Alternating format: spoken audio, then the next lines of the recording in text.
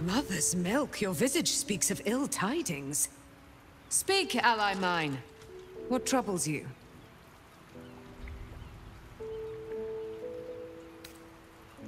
Let us not dwell on those dark days. Their memory is a vortex within my heart that leads directly to the Hells. Is he indeed?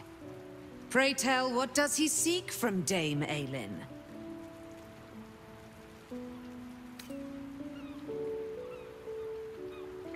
Let them come, and let them find me.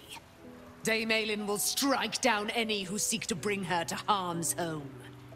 Yet, it is better to cut off the head of the snake than to let its slithering snakelings swarm us unabated.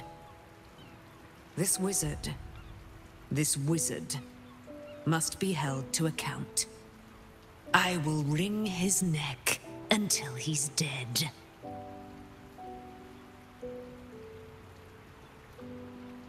Oh, his end will be one more strand in the great braid of our friendship. Hie we to this Lorroakan right away.